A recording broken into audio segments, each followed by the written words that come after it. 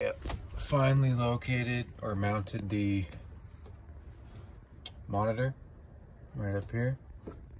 used to be tucked away in here. Got the the door mounted. I'm gonna actually paint that. And then I also made,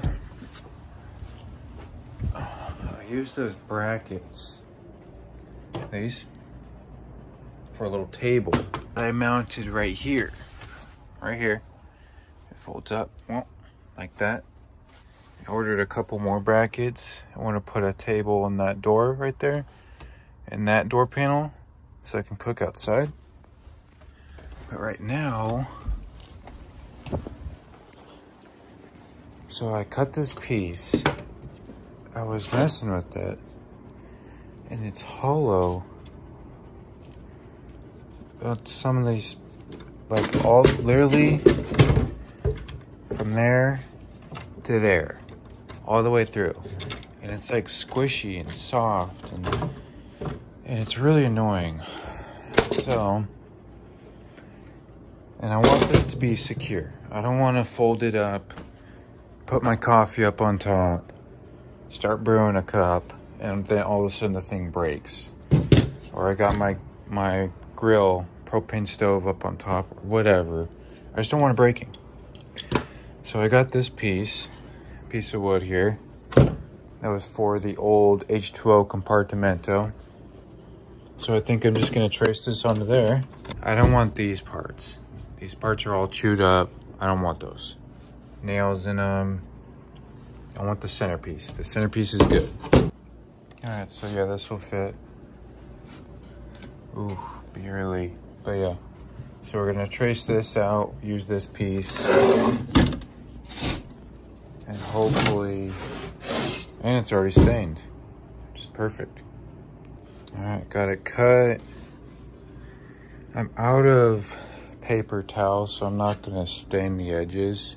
I think what I'm gonna do is just leave it like this. Instead of using screws, like I said, I want it to be sturdy. We're just gonna drill through, use these flathead screws to bolt it. Bolt this to that. All right, got this thing mounted. There's another hole we can put a little, actually, I think we're gonna do that. We're gonna put a, a small, really small one of these screw. I don't want it sticking through to the other side. Otherwise we're gonna have a pokey sticking through the top. So yeah, I think we're gonna mount that. Hold on. Is it gonna go through? No, it shouldn't. All right, looks like that screw is good. Didn't pop through. So now let's mount this.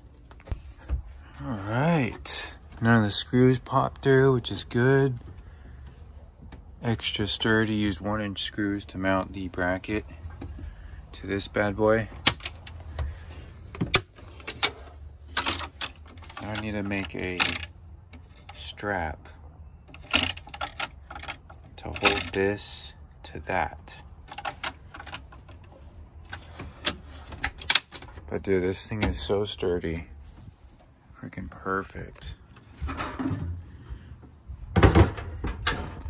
I can even use it as a small desk. Reminds me of middle school. My knees fit Can stretch out. Dude. This is awesome. I'm not gonna lie. This is badass. So I'm trying to figure out how I can secure this without just floating around like that. And I made these for the swivel table so I can hold them to this in the back thinking I'll do a screw in one of these buttons in here, one in here. That should work. Not too bad. Just hope that won't make noise. Unclip it there. Clip it back. I probably don't even need to put that there, but just in case. Dude, you could barely, you, if you didn't see this, you wouldn't even know that was there. Cool. Yeah, we're definitely gonna have to paint that. Just don't like, I don't like that. Nope, nope, nope. It's getting a little late. I'm getting starving, so just a short, quick night. I'll be back at it tomorrow. See you guys then. All right, we're back at it. So I got some more of those brackets, the same ones that I used for that little fold out table. We're install them over here and over here. Just so we can have a couple tables outside somewhat for uh, cooking. So I was gonna put a tape fold out table right here, but it's just not realistic. It wouldn't be big enough or long wide enough because I don't want it to go past the fender. So this is next best. All right, so here's the game plan. We've got a space back here. We've got two mounting holes. Two there, two there. Perfect little gap right there or space. We're gonna use rivet nuts to secure this through the wood to the door. We'll have about a 14 inch tabletop. Yeah, 14 inches by 22 and a half inches. The propane stove. Oh, hi. The propane stove is 21 inches long by 12 inches wide. So it's perfect little table right here. So what we're gonna do is pull this off and figure out our mounting locations and then we're gonna start drilling. So before we actually install that, we're gonna paint this just to help seal it because it is gonna be technically outside when the doors open. So we're gonna paint this. I've got tons of Diamonds Therapy. So I think we're gonna use this, Diamonds Therapy, or should paint it blue. Tsunami Blue. Shoot. All right, we're using, we're gonna do it white. Diamonds Therapy. I've got plenty left. Let's finish up this. Oh, is this in? It's almost done? Wow. Yeah, let's finish up this can. Again, get this thing sealed up. Nice, dude, that looks awesome. Freaking white, white panel. That's sick. So I got to mount, hold it in place with this handle. A couple Phillips, but I've got an idea. I had this riveted. In order to remove this, I had to drill them out. But I got these plastic fasteners. So what I think I'm gonna do is probably drill a hole, like let's say either that big or maybe this big and then hold the panel in using fasteners. But I know the bracket's gonna hold this in place, this in place. The handle's gonna hold this in place. So I'm gonna need something to hold the bottom. So we'll use these fasteners. That way can easily remove them. I used to have screws holding this one up and they came out like self-drilling screws. So we don't wanna do that. Um, so now, let's see here. I marked the frame or the door panel, door itself. So I think what we're gonna do is I'm gonna grab some, some self-drilling screws and just like what I did with the ceiling, um, we're going to use these screws to mark where the holes are And then that way we know where to install the rivet nuts. All right, we got everything mounted, but we got one problem. And that is, let's see if we can do this with one hand.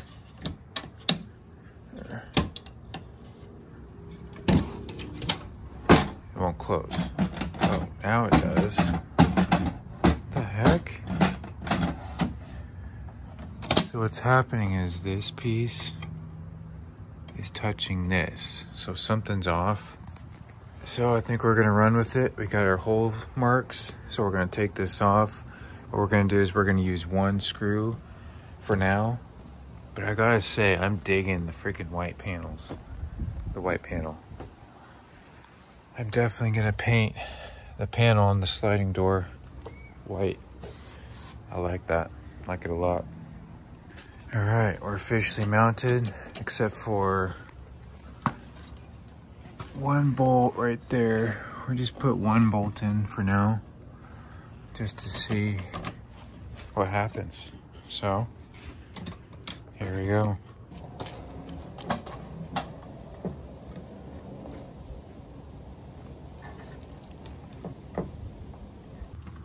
Oh, looks like we're still hitting.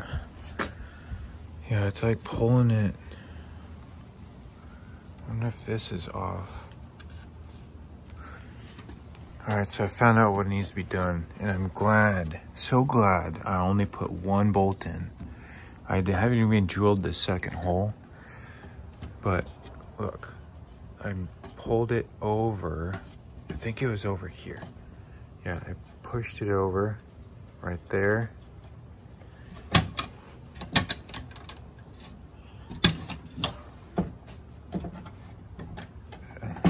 Yeah, pulled it over, so it needs to be pulled over. I wonder if this, no, this one's not even hitting. It's this one. Yeah, so let me see if I can loosen this and pull that over more. All right, I got it. That's why always drill only one hole. Because if I would have drilled all three holes and it didn't line up, I'd be screwed. Perfect. Now it freaking closes like it should. Yeah, the first one I, I had to push push this that way and then this one that way. Dude, heck yeah.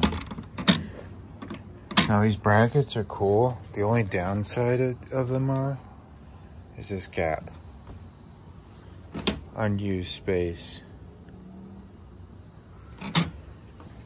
So I might have to put some sort of pouch right here or something. Just to hold a little bit of something, I don't know.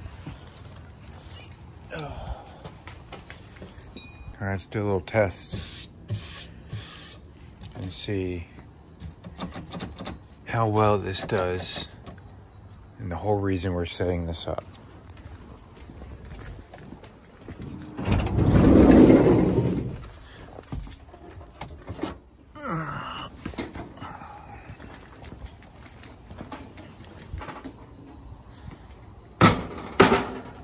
Nice. Barely flinched. Perfect. Hi, Ozzie. How's it going, buddy? Oh, that's right. We need to install pins. One, two, and three. I can install a fourth one right there just to cover up that hole. Let's do that right now. I would highly suggest getting you a kit of these because they're freaking awesome. So there we go. Used a quarter inch drill bit. I'm gonna make one, two, three more. And uh, we're just using these little clips, little fasteners. You can even use some bigger ones if need be. Yeah, these are awesome. All right, all fastened. I'm gonna stain this probably black, like over there. But um, we do have one problem now.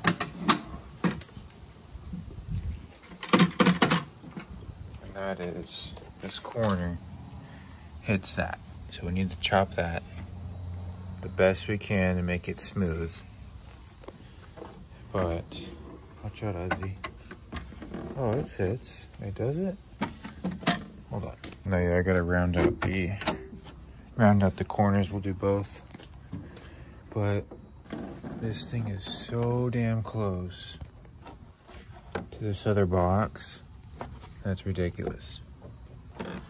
So I think when we, because I'm gonna remake this, when I remake this, we'll probably have to leave out the handle. It may put a hole so I can stick my hand in there and pull.